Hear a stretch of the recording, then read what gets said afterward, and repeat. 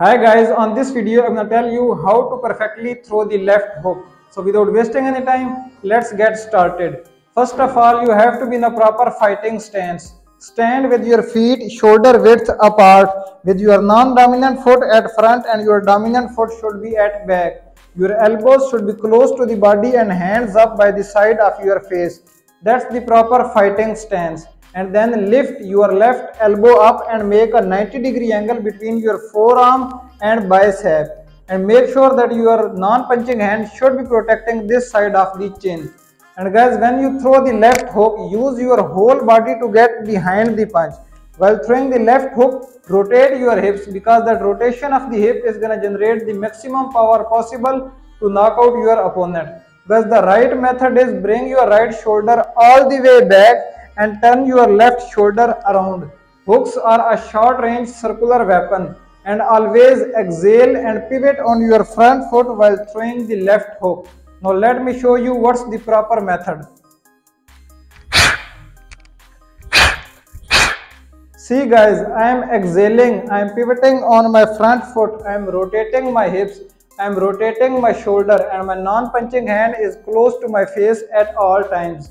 Even Ryan Garcia made a big mistake while throwing that left hook. His non-punching hand was down here and that's why Gervonta Davis knocked him down in the second round.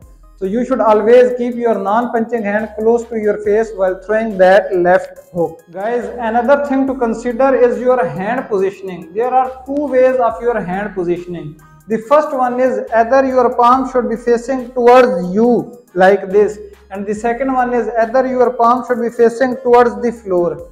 Because that's totally personal preference. Depends on you what you are comfortable with it.